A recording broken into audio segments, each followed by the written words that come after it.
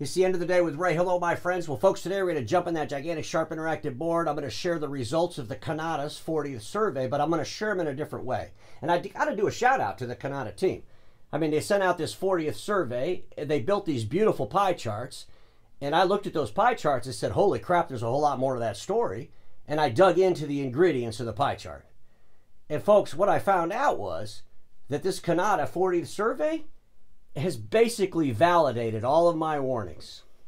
All of my warnings about our industry diversifying into IT services. They're your numbers. You provided them to the Cannata report. I just dissected them at a whole nother level. And wait till you see what these numbers share. They literally validate all of my warnings that you have consultants out there teaching you all how to build lifestyle IT companies. Congratulations, the consultants won because most of you all built a lifestyle IT company that's pretty much worthless in the big scheme of things. And, and, folks, when I'm going through the survey and I start out with how they describe it, and I think there's some there's some rooted issues that I want to share, and that's why you see this root bound tree up here. But let me just read this to you. 40th annual dealer survey still rooted in A3 and A4 printer and MFP sales and service. Dealers share who and what they value the most when it comes to their manufacturing partners. Our industry is so rooted in a print mindset. It is completely rooted in this mindset. And you know, ladies and gentlemen, I had this ficus tree growing on my patio. I love the ficus tree. And the pot it was in was beautiful. I mean, it's like a handmade pot. It was just beautiful pot. And I said, shit, I got to get that ficus tree out of that pot because it's root bound. I couldn't get it out of the pot. So what I had to do is I had to get a big old hammer, smash the crap out of the pot. The pot ended up in the trash. And I was able to take that ficus root and put it in a whole new environment and allow it to grow even more. And I think that's what our industry needs to do. We got to get the hammer out, smash the crap out of the pot. And we need a new environment. And we can't be so root bounded in a print mentality that it stifles our aspirations around diversification because this survey, ladies and gentlemen, is horrifying. I mean, this could have been my damn Halloween special. It's so damn scary. So without any further ado, let's jump on the board. I want to share these numbers with you. The first thing I want to do is show you this. So I see this advert for the ACDI Energy Services, that crazy you know, electrical vehicle charging station concept that was going to change our industry. And folks, I get it. You know, we're all looking for different things to do. But when this started five years ago, I made fun of it. I thought it was the stupidest crap I've ever heard. And I shared all my reasons why. I did multiple videos on that. But here we are, what, five years later, and we still have not substantiated publicly what the hell this even is. And I don't care about one or two dealers that maybe hit some home runs selling electric vehicle charge stations. I think when we come out with this kind of crap, we ought to tell the industry why it's not working. We ought to tell the industry the real damn details of it. We ought to tell the industry how many dealers have hundreds of these things in their warehouses. We need to share the realities. And we don't. We never want to share the math. We just want to share all the adjectives. Everything's going to be fantastic. We're hitting it out of the park. Our industry needs to demand more math. This proves that point. But in this survey, they got these great pie charts. I'll start out with this one. They're talking about the revenue of the 415 respondents. So 415 dealers gave the information. So this is pretty good information. 415 dealers. It says that 83 of them do revenues above 15 million and 332 do revenues underneath 15 million. And we know our industry. There's a lot of 15, 10 million dollar businesses out there.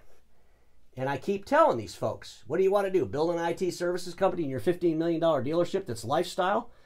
Why do you want to do that? Don't you want to build a $15 million IT services business to go with your $15 million print business? And then maybe one day you could actually sell that $15 million IT services business for 10 times the amount of money you might sell whatever's left of the print business. Wouldn't that make more sense? I've been screaming this stuff. And folks, and then I see this. Holy smokes. The math's mine. But I see this pie chart where they're telling you the revenue percentage of all the buckets. And the buckets that they got the revenue percentage on are this sales and service of A3 MFPs and printers, MPS, managed IT services, production, print, document management, and voice over IP and UCaaS. And folks, uh, let me just start out at the bottom with this UCaaS voice over IP. According to the Cannata survey, the information they got from the dealers, that represents 1.3% of the revenue. So then what I did, I said, well, let's just pretend we're a $15 million dealer. And how much money would that be in all these different buckets? So for voice over IP, it would be $195,000 a year if you're a $15 million business. My question is, why the hell even do it? I mean, why would you even be in that business for 1.3%? The next really low one is document management. Document management, 1.9%, a $15 million deal, that's 285,000 a year. And I'm thinking, why the hell would you even be doing that? I've been a little critical of the document management business. I've asked a question a lot of times. There's literally 55,000 plus IT companies, okay, out here in the United States, right? I'm pretty sure that's probably the number still.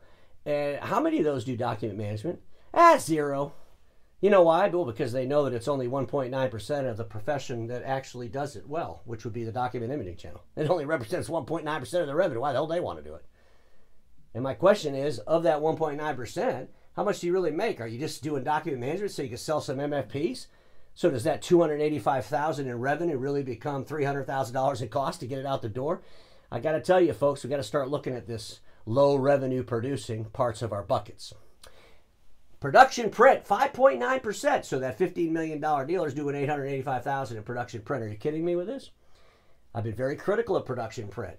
Some folks want every dealer in the world to sell it. Well, if you're a $15 million dealer and you're doing $885,000 in production print, that's not enough. How many machines is that? If you walked into those end users' office, how many TRM kits are you going to find on the floor that cost a thousand bucks a piece? How much toner is going to be on the shelf? How much time are your techs spending in front of that machine? Ladies and gentlemen, $885,000 a year to $15 million business for production print is horrible. And here's the one that really gets me managed IT services. Man, I, I got to thank the Cannata people for this report because you just validated everything I'm screaming about with this. 7.6% of the revenue, so a $15 million dealer is doing 1.4 million. 1.4 million in IT services. Congratulations, you just built a lifestyle IT services company inside your $50 million dealership that's completely worthless when you decide to sell, okay? Really, nobody's wanted it. MPS 2 million and of course the core deliverable of MFPs A3 and A4 9.9 million. I think today MSP is ridiculous. It's just part of what you do. It's your job, okay?